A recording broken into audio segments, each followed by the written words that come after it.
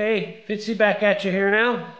I'm here today to going to show you how I modified the 66 Mustang column to get it set up to take a rack and pinion steering. Now if you're familiar with these, these have the box mounted to the bottom side of the column. Uh, when you cut them off, there's no bearings, there's no way there to, to hold it all in place. You can actually take the column right out of the car. So what you got to do is you got to find a way to secure the shaft inside the column. What I went and did is I made up two little end plates. You can see these here. All the arch sleeves that slides down inside the column and are held in place with two little rivets on either side.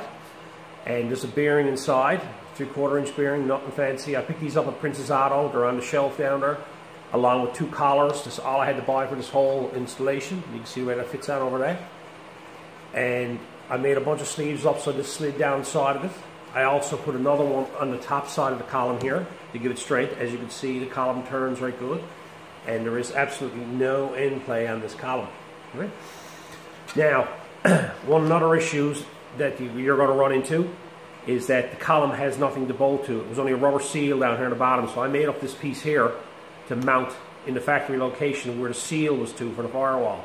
So I'm going to show you now how I made all this up and got all this fitting in so it all worked good.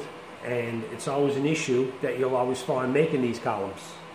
Is uh, you got to spend a bit of time on these to make these work right. So uh, I'm going to show you that now. Enjoy.